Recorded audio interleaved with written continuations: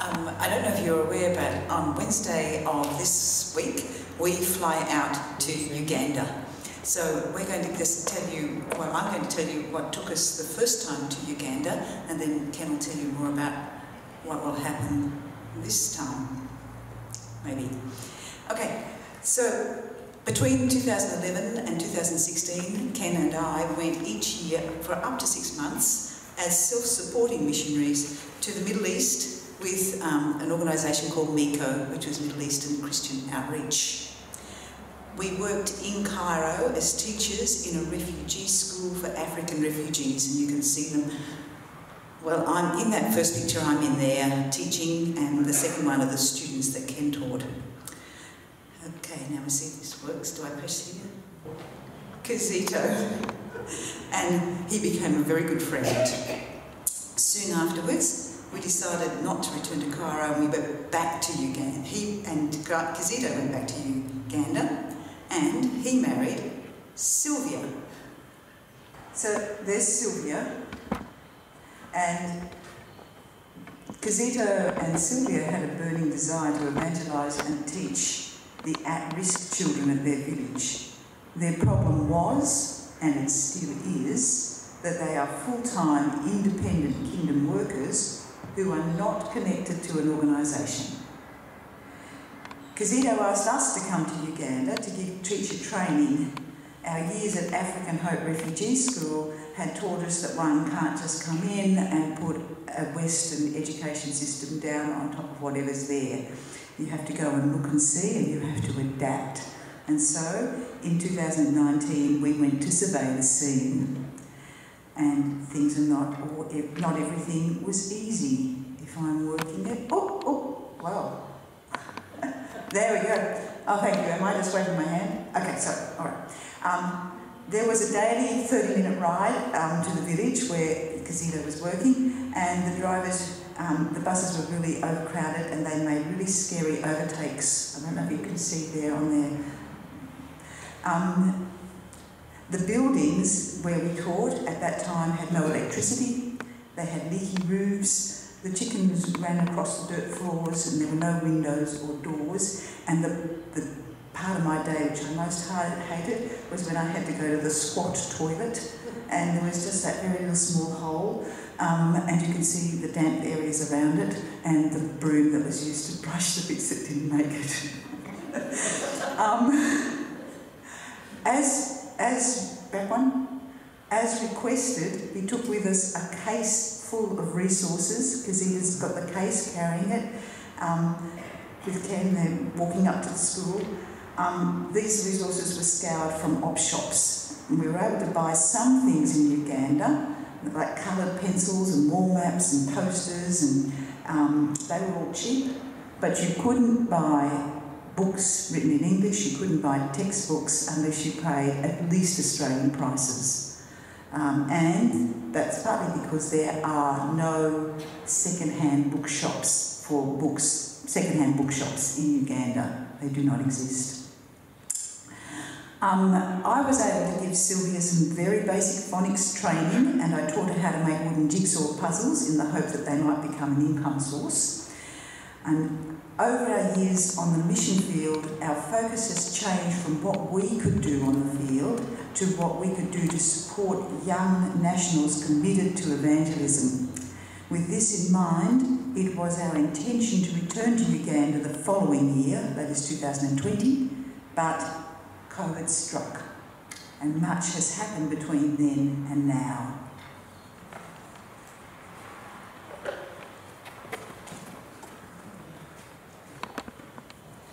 Just to give you an idea of where we're talking about, the top marker is the capital Kampala, and it's a four-hour bus ride down to the next town, and then they're about another 30 kilometres out in the rural area that was quite renowned, that area, for high HIV rates. And because of those HIV rates, there are a lot of orphans being brought up by elderly grandparents and so on, because their parents both died of HIV. So that's who he's ministering with. Um, he started by teaching Sunday school in the local Catholic church building, which you can see is um, very not like our Catholic church building.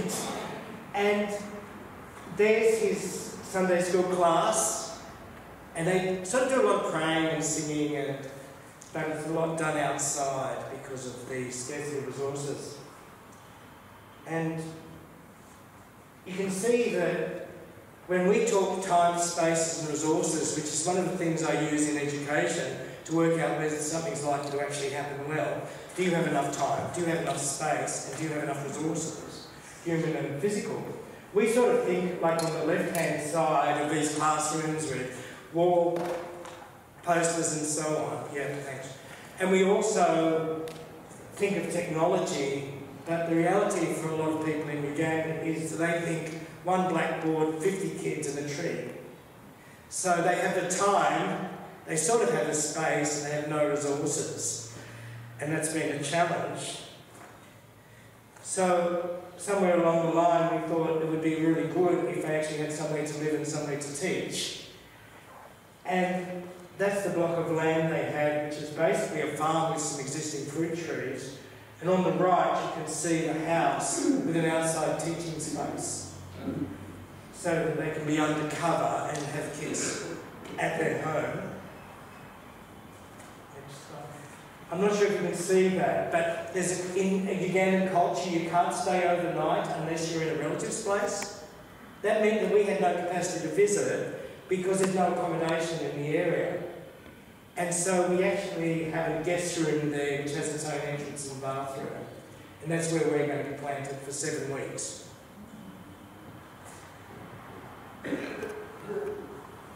Everything's a challenge. COVID brought its own challenges. There's the kids lining up under a sort of a water tank with a pretend tap. But water itself is a scarce resource in that area of Uganda, especially in the dry season.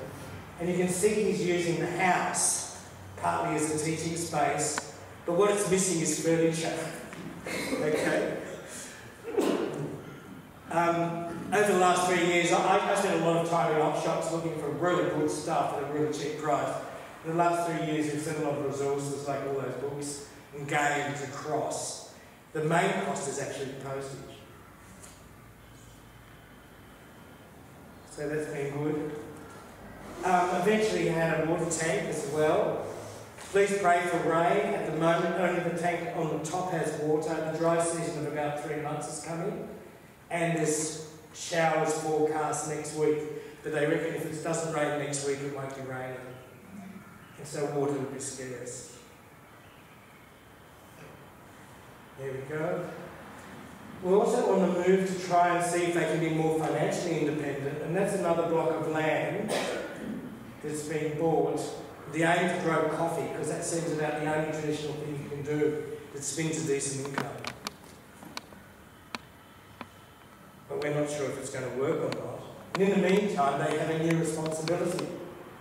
Um, Kizito Bradley is about six months old. He's dressed up there in some of the clothes people kind of goes to send across. But it means that they've got new responsibilities. Um, next one, thank you. Even getting a bed is a big, big deal because you can't buy anything except in Kampala, basically. That's been made by the local carpenter from just a picture. And so we at least have a bed. You will notice that we don't have a mattress yet. so, so when we get to Kampala, where the airport is, we've, we've really got three choices for shopping. You can go to a local village shop and buy water and a few bickies or something. That doesn't get you very far. The town that's 30 kilometres away is the one on the right-hand side. That's Masaka. And it, whilst it looks busy, it really just sells stationery, clothes and basic groceries, a bit of hardware. So the bottom is the newly opened Carrefour supermarket, and anyone who's been to a Carrefour supermarket around the world knows that that is like shopping heaven for people who can't get stuff, because they have everything from electronics and so on. But we're hoping that we're going to spend two and a half days shopping because we get one chance in the seven weeks to buy all the things that could never be bought and that are needed. For example, a tape measure he needed to measure the room his solution for that was to actually borrow one from a friend 30 kilometres away. Which shows you what we're dealing with. We don't know what this future holds really, because COVID has done so much disruption to development. But we're going across to find out how he's going, basically. And once we're there and we find out how he's going, then we'll see if there's any way that we can support him and give them what they need to just do their mission. Because their heart is for mission, and I think we have learnt if someone's heart is for mission, that's the best starting point. And the second starting point is that they have prayer behind them. The rest will happen. And we'll have a little bit of time to pray later on in our prayers for others, to include you in our prayer time.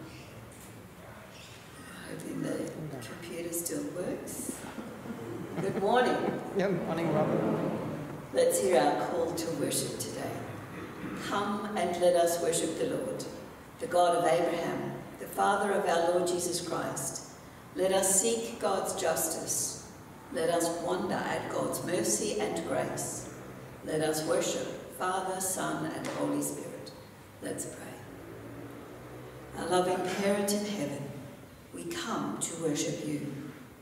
We gather as your people, and we seek your kingdom and its outworking among us yearning for the world's sufficiency, searching for peace and harmony, justice and fairness.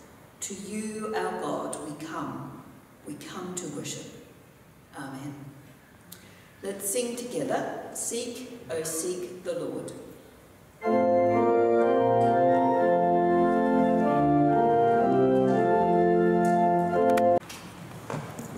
Let us pray. You, loving God, are the centre of our being, plumb line by which we measure our lives. For you are God of all, and all are your children.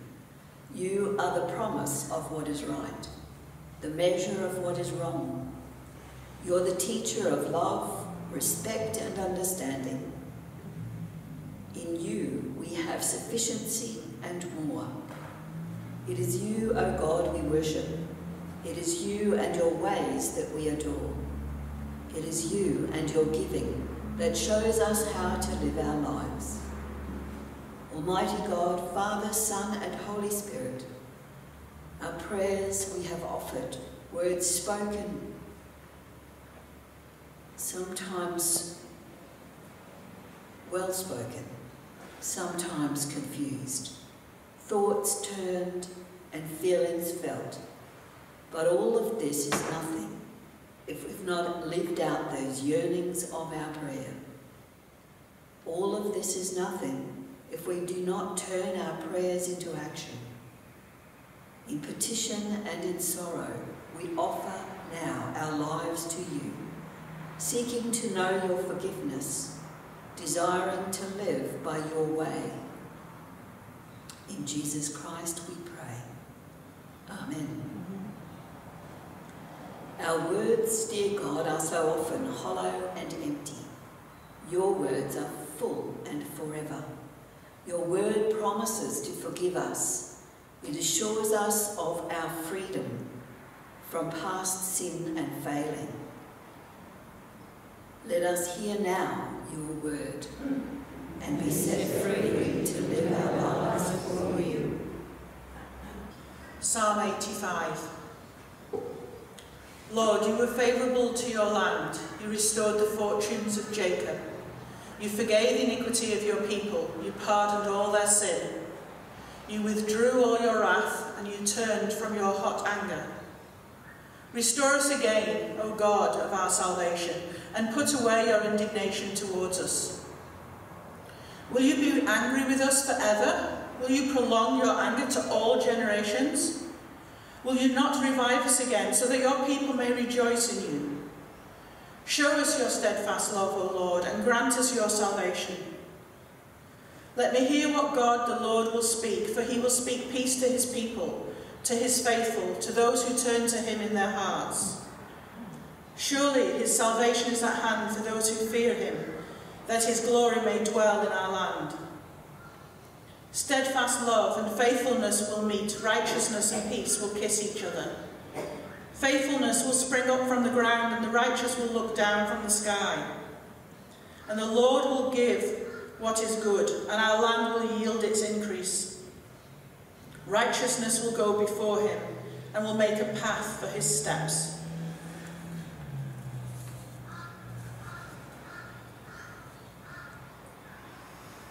The Gospel, Luke 11, 1 to 13. He was praying in a certain place, and after he finished, one of his disciples said to him, Lord, teach us to pray as John taught his disciples. He said to them, When you say, when you pray, say, Father, hallowed be your name, your kingdom come. Give us each day our daily bread, and forgive us our sins, as we ourselves forgive everyone indebted to us. And do not bring us to the time of trial. And he said to them, Suppose one of you has a friend, and you go to him at midnight and say to him, Friend, lend me three loaves of bread, for a friend of mine has arrived, and I have nothing to set before him. And he answers from within, Do not bother me. The door has already been locked, and my children are in bed with me. I cannot get up and give you anything. I tell you, even though he will not get up and give you anything because he is his friend, at least because of his persistence, he will get up and give him whatever he needs. So I say to you, ask, and it will be given you. Search, and you will find. Knock, and the door will be opened for you. For everyone who asks receives, and everyone who searches finds. And for everyone who knocks, the door will be opened.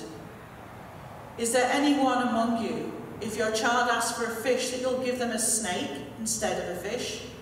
Or if the child asks for an egg, will give a scorpion?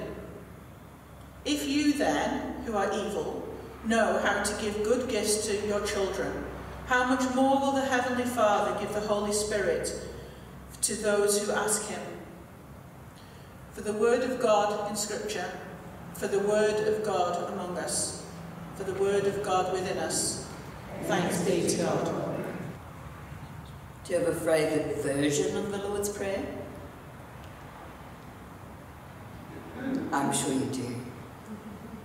Do you know, even at the nursing home, when it looks like half the people are sitting there fast asleep, you start doing the Lord's Prayer and they can say it with you. I'm not sure what the next generation will be like, but the one now, they can do it. Many of them have their favourite version, and some of them are quite adamant that it must be trespasses, not sins, in the prayer. But they know the prayer, and they've been doing it for years. I was surprised to see the age of this book, and the language really is quite obvious that it's old. But it's a great little illustrative book about the prayer. It has parts of the prayer and then a little story underneath with an image that kind of tells what's happening in the prayer so that you could teach children how to say the Lord's Prayer from that book.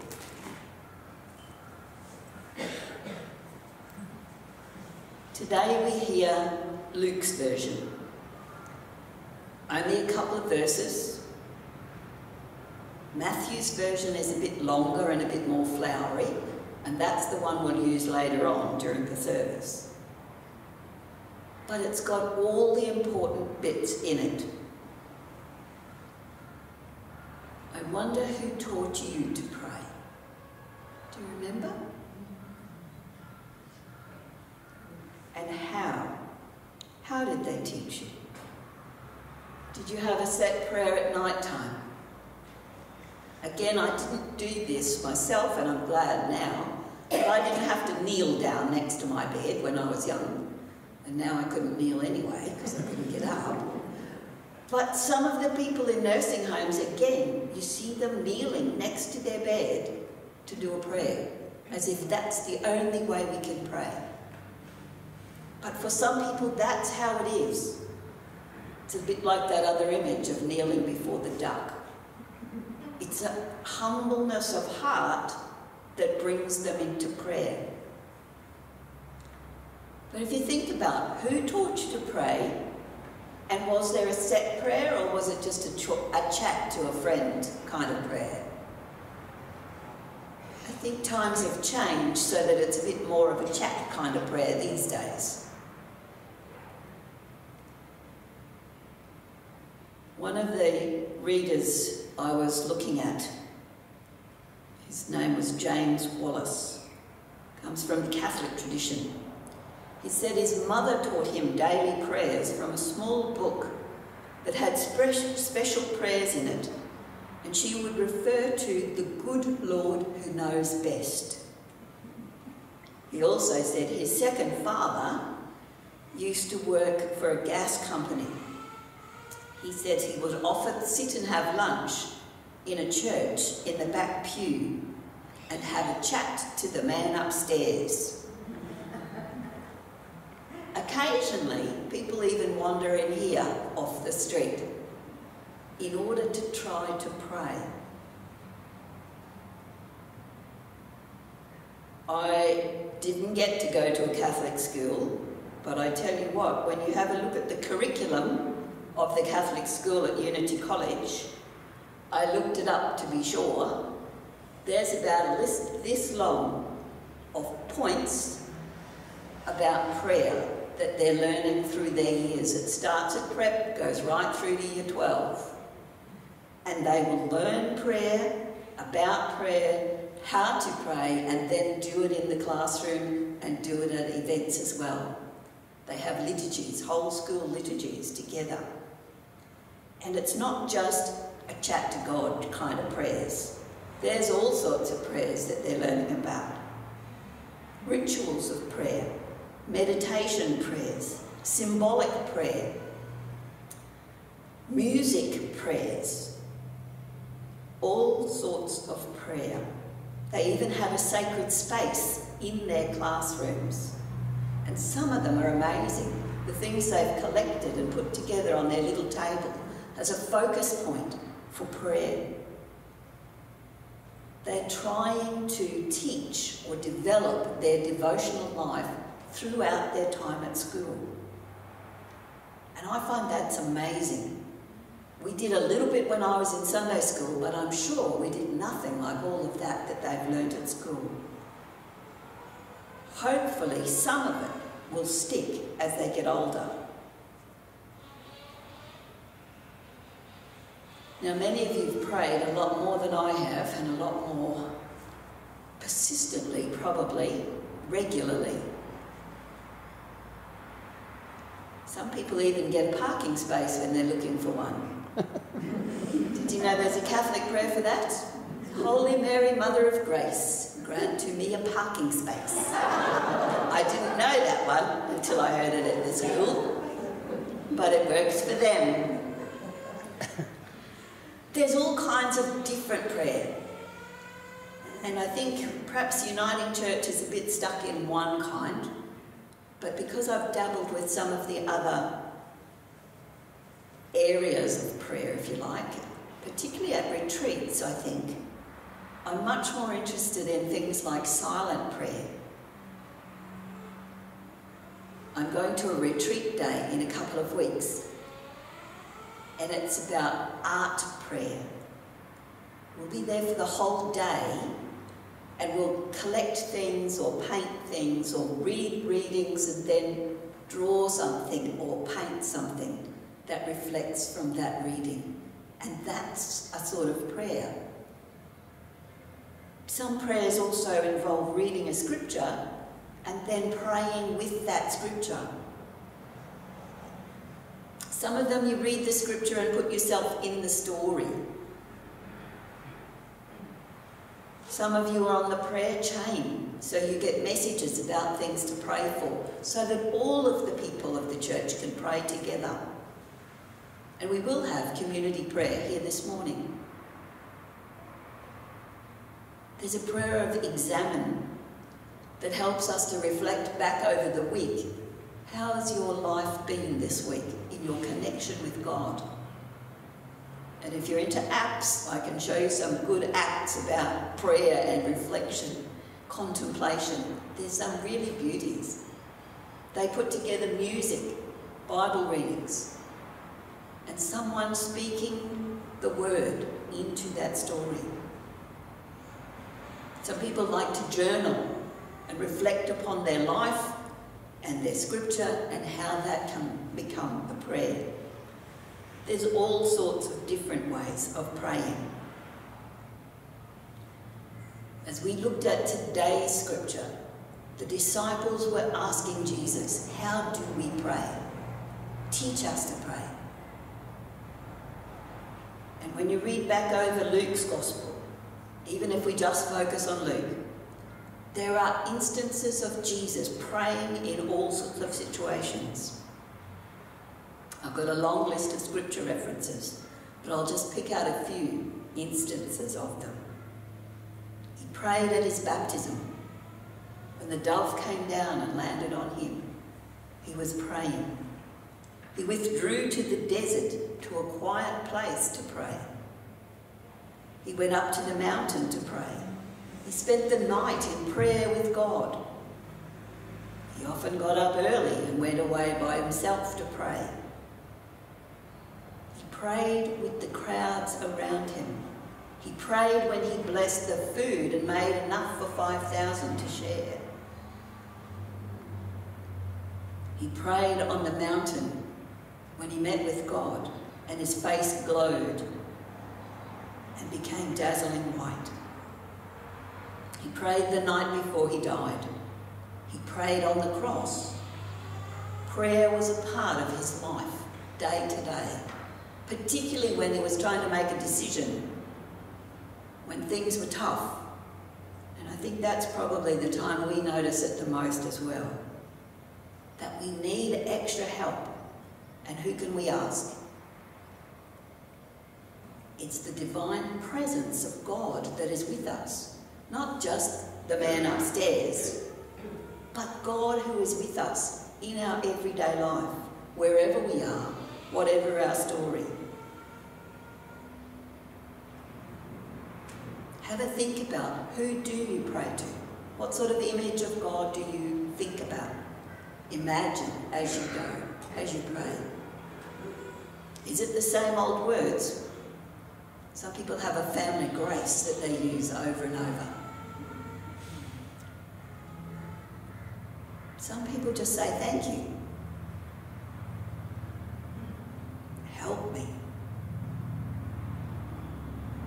Help us.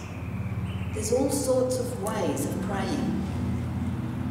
But the idea of kneeling before God, coming before God in humbleness, asking God to give us what we need, forgive us for the things we've done wrong, lead us into whatever the future might hold, and deliver us from danger, whether it be trespasses or sins, whatever the danger, lead us, deliver us. They're the sorts of prayers that Luke is trying to teach us about. There's another good sentence that I found, I thought. Is it not a pretty drastic application of Jesus' warning to avoid unnecessary wordiness and the kind of dissemblance practiced by hypocrites and heathens who think that we'll be heard because of their many words? Keep them short. Don't ramble on and on. God knows it already. Just us asking God for what we need. All sorts of prayer. And I can't tell you how to make sure they're answered. We've been praying for world peace for some time and it still doesn't appear to be happening. But I think we still keep praying. Sometimes we pray for family members for a long time too. And sometimes we can't see what's happening for them. But I've heard lots of stories of people that do tell many years later some things changed and they believe that someone was praying for them. Ask and keep on asking. Seek and you shall find. Knock and the door will be opened.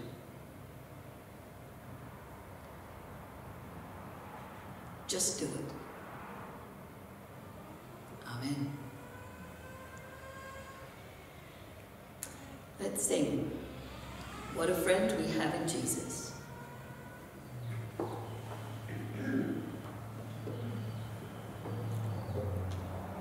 another good one you'll need to know at the nursing home.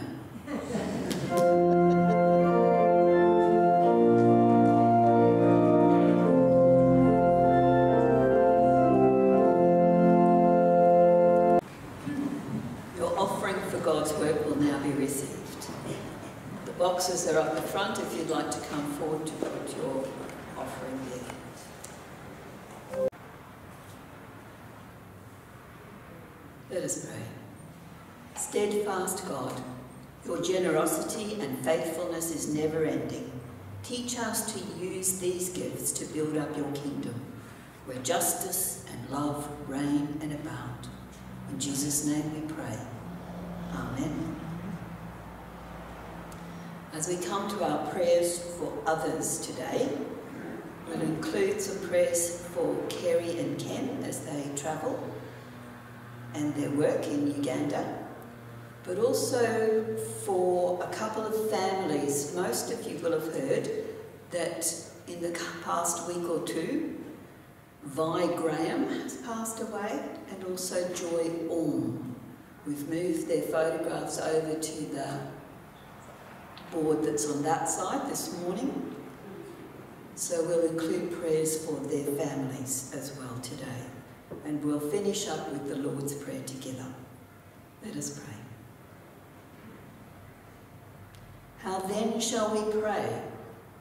We gather here a group of graced and gracing people, holders of debts and grudges and forgiveness, speakers of truth, askers of questions, seekers of your way and your love.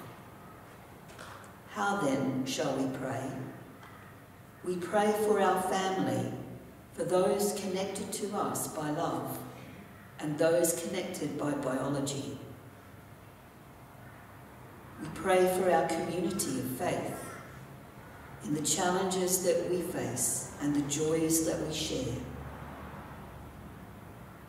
Lord, we pray for Kerry and Ken as they head off on their mission to Uganda. We pray for the needs for that community that they're going to, for the rain, for the transport, for the provision of resources and the work of outreach, that your Spirit will bless and encourage them, lead them and guide them. Lord, we pray for the members of our community who've lost loved ones, for the family of Vi Graham and Joy Orm. We pray that they might know your love and your support during this time. Grant them your peace. We pray for those in need. We pray for those in pain. We pray for those in trouble. We pray for our neighbour. And we pray for strangers in familiar places and far away.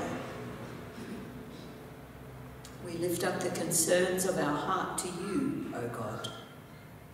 We ask for strength and encouragement as we continue to look for your answers. Guide us that we might not miss the possibilities or the shifting opportunity because we look somewhere else. Keep us open and connected to you,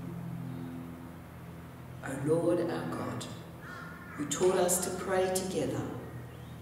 Our Father in heaven, hallowed be your name. Your kingdom come, your will be done on earth as in heaven. Give us today our daily bread. Forgive us our sins as we forgive those who sin against us. Save us from the time of trial and deliver us from evil. For the kingdom, the power, and the glory are yours, now and forever. Amen. We sing together, Our God, our help in ages past.